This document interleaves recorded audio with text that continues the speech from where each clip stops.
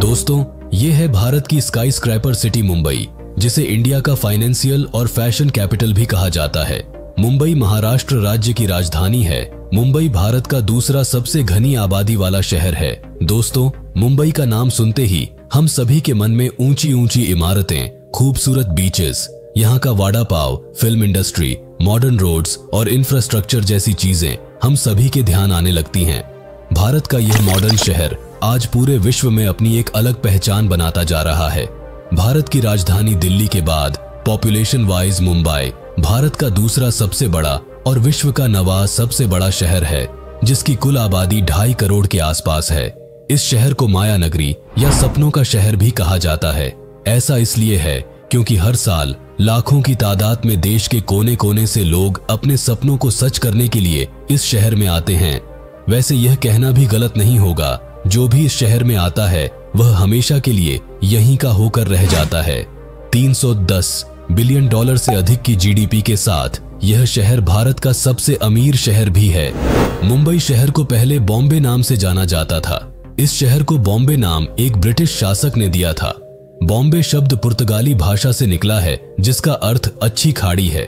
प्राचीन तथ्यों के अनुसार, मौर्य वंश, सिल्हारा वंश, पुर्तगालियों तथा ब्रिटिश सरकार ने मुंबई पर शासन किया था। मुंबई में ही भारत की प्रथम यात्री रेलवे लाइन बिछाई गई थी। मुंबई में स्थित मुख्य railway station, Mumbai central railway station है, जिसे छत्रपति शिवाजी टर्मिनस के नाम से जाना जाता है। ये एक हिस्टोरिकल ट्रेन स्टेशन के साथ यूनेस्को वर्ल्ड हेरिटेज साइट भी है। मुंबई शहर इक्सटैंड वर्ग किलोमीटर का एक द्वीप है और इसे पुरानी मुंबई या दक्षिणी मुंबई भी कहा जाता है। वहीं मुंबई मेट्रोपॉलिटन रीजन 6,358 वर्ग किलोमीटर में फैला है जिसमें ग्रेटर मुंबई ठाणे कल्याण डोंबिवली नवी मुंबई उल्हासनगर भिवंडी निजामापुर वसई विरार मीरा भयंदर और पनवेल शामिल। दोस्तों आज मुंबई को दुनिया के बड़े बड़े शहरों जैसे न्यूयॉर्क सिंगापुर टोक्यो से कंपेयर किया जाता है। यह देश का दूसरा सबसे बड़ा महानगर तो है ही। साथ में इस शहर में देश और दुनिया के सबसे ज़्यादा मिलियनियर्स रहा करते हैं।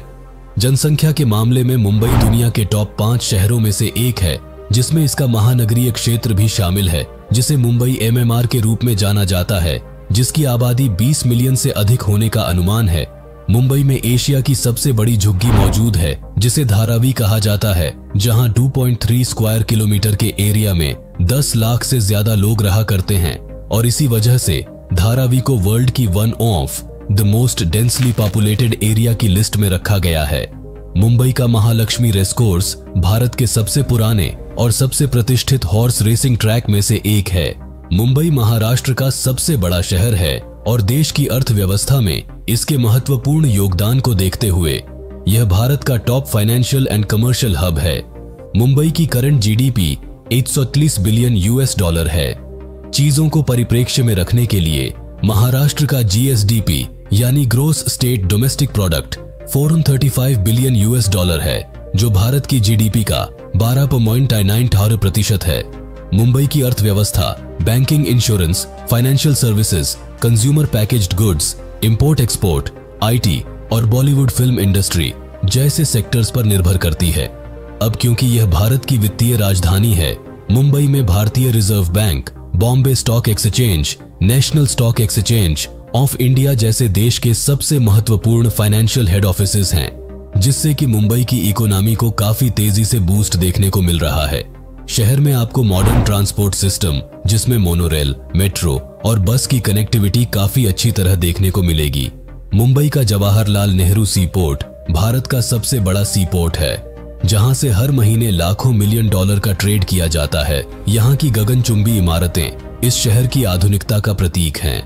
वहीं दही हांडी और गणेश उत्सव की धूम यहाँ की धार्मिक छवि को उजागर करती है।